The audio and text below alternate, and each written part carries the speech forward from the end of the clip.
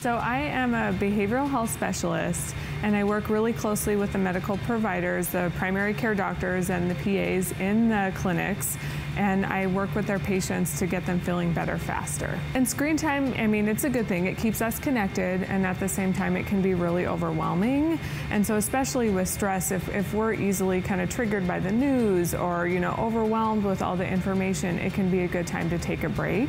And so, just kind of pay attention to your body. If you're starting to feel tense and you're on your phone, that's a time to take a break, get outside, you know, do something different. You know, we want to be well rounded. So, we'll have screens, um, but we also don't want to just be sitting there all day, kind of just, you know, isolated from other people.